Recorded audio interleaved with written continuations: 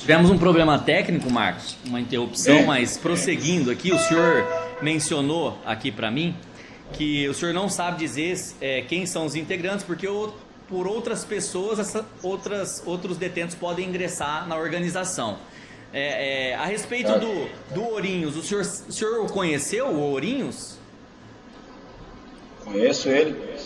Conheceu? O senhor sabe dizer se ele integrava a organização? Não chegamos a dialogar sobre isso aí, não. Não, não, tá. chegamos a conversar é sobre o, isso aí, não, não.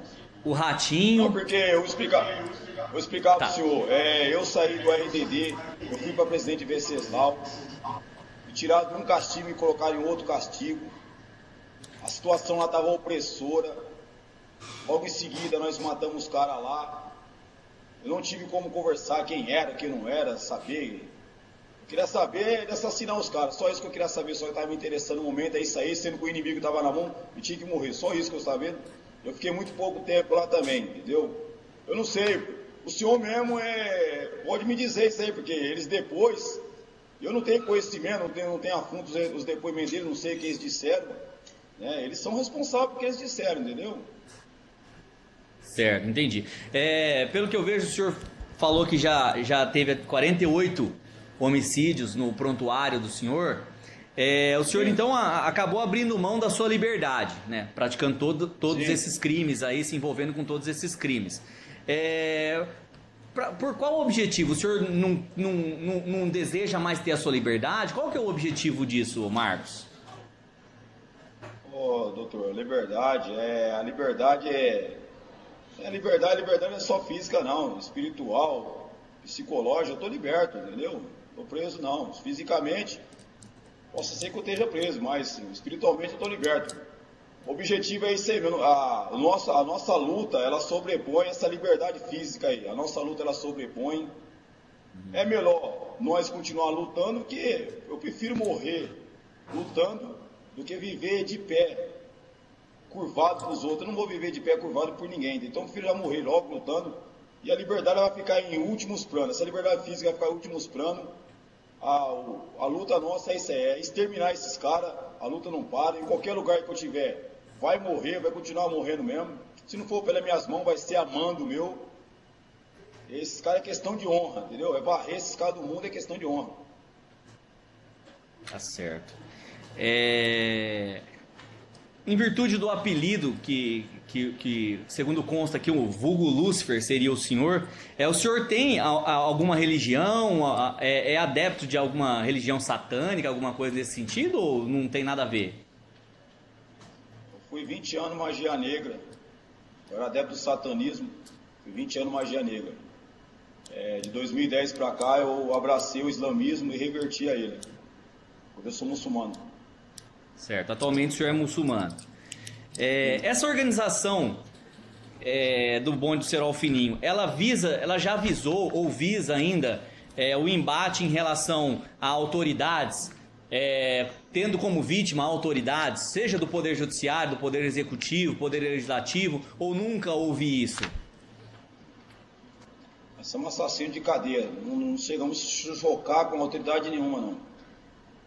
Certo, entendi.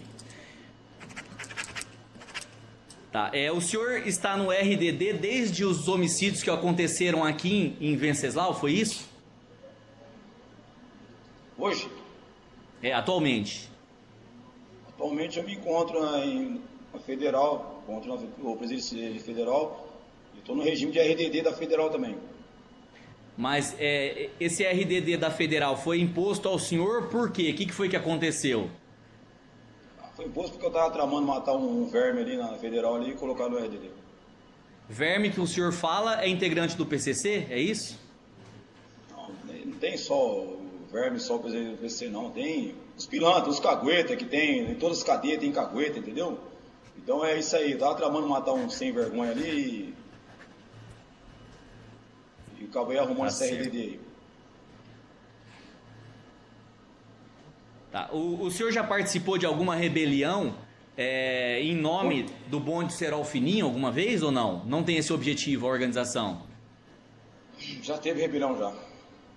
Já teve? Teve, teve, né? teve uma rebelião em Serra Azul, teve a rebelião em, em Tirapina, nossa, teve em Tupi Paulista, que a gente teve que fazer refém para matar os caras lá dentro. Teve. Aí, e nessas rebeliões morriam pessoas, morriam detentos. Sim. E, e, essas pessoas que morriam, os senhores já, já tinham conhecimento que pertencia a outras organizações criminosas? Ou eram pessoas neutras ali que é, morriam porque, também? Na verdade, é como eu expliquei para o senhor momentos atrás. Nós não, né, dentro de São Paulo, a gente não é adversário somente do PCC, não. Existem outras organizações e a gente também somos inimigo delas também. E todos esses caras que morreu através de nós, que morreu bastante gente, através de nós, por pertencer. Nós não tem nada a ver com uma população neutra. É, a nossa guerra é com, a, é com o PCC, essas duas facções. Então, os caras que morreu especificamente era facção. Certo. E essas rebeliões aí, alguma delas foi deflagrada é, por conta de superlotação de presídio ou era guerra de facções mesmo? O que, que foi que houve? Doutor, a, a superlotação vem contribuindo para criações de facção há um, há um bom tempo. Vou para 22 anos preso do centro, tô 22 anos né, fazer, que eu estou preso. Essa superlotação contribuiu sempre para criações de facção. Né? Se, tem cela, é um absurdo, uma cela para 12 pessoas se encontra 40 pessoas. É, só que o Estado, o que, que o Estado faz? Ele, ele esconde isso. Entendeu? Esconde. As penitenciárias é um, é um horror. É um horror de dia. A cela superlotada, não tem escolarização, não tem trabalho, não tem nada. Quando tem visita das autoridades, eles pegam, criam um teatro lá, enfeita a cadeia, pinta, melhora na comida. Depois que sai, vem. É um lixo. A cadeia de São Paulo é um lixo, entendeu? É horrível. É, com certeza, a superlotação é um dos maiores motivos para a criação de facção. Com certeza.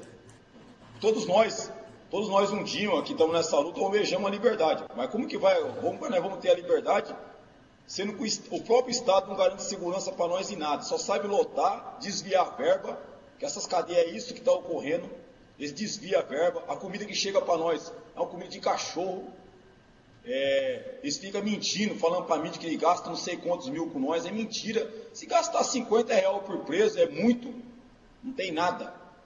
Entendeu? Não tem nada na cadeia, só tem é, preso dormir no chão, tem que fazer, improvisar camas no alto para dormir. É isso aí. Eles têm a. O, eu fui a júri um ano, um ano, retra, ano passado, não, um ano retrasado eu fui a júri e eu relatei tudo isso aí, porque nós assumimos, nós. Bom, quem não assumir é traidor, entendeu? Nós, eu e muitos assumimos nossos crimes, como nós se júri Fomos eu, fomos o Ratinho, nós assumimos e deixamos bem claro tudo isso aí que está acontecendo no sistema paulista. Só que a autoridade não quer saber. O secretário é sem vergonha, entendeu? O secretário não quer saber de nada. Coordenadores, é tudo patife. Eles não querem saber de coisa nenhuma, eles querem saber de ganhar o deles, querem saber de roubar através de nós. Entendeu? Nós estamos, nós estamos tipo um gado na mão desses desgraçados. É isso que está acontecendo. E a nossa revolta é essa aí, pô. É, inclusive no, nas penitenciárias federais, o senhor estende os mesmos comentários às penitenciárias federais ou não? É diferente na penitenciária federal? É tudo dividido. Não tem. Não, não posso, eu não posso é, caluniar, entendeu? É, a gente tem que ser, eu tenho um compromisso com a verdade, sou muçulmano. Não, existe uma separação, existe, é um preso por cela, existe uma separação, as facções não são misturadas não, entendeu? É, uhum. Não tem, tem essas coisas, não, não tem espancamento, não tem essas coisas aí não. Entendeu? Se tivesse, e a comida não também? de ninguém, entendeu? A comida é tranquila. É tranquila. Tá a certo. comida limpa. Tá certo. É... Por mim eu tô satisfeito. Doutor promotor, doutores, algum defensor tem, tem alguma pergunta a ser feita? Mais alguma coisa que o senhor queria alegar, Marcos? É, essa, essa audiência, como que é? ela vai se encerrar por aqui hoje já mesmo ou o que, que é? Tem mais alguma audiência? Não, não, vai se encerrar hoje. Vai se encerrar hoje. Não tem mais é. audiência, essa é a última audiência. Uhum. Não, tranquilo, não tem mais a manifestar, não. Tá certo, obrigado. Boa tarde. Tem uma pergunta, senhor. Pode fazer, doutor. Você sabe me dizer se o Carlos César Barbosa Gil fez parte ou faz parte dessa facção? Carlos César? Não, não conheço, não. Sem, sem mais. Tá certo, obrigado. Pode fechar.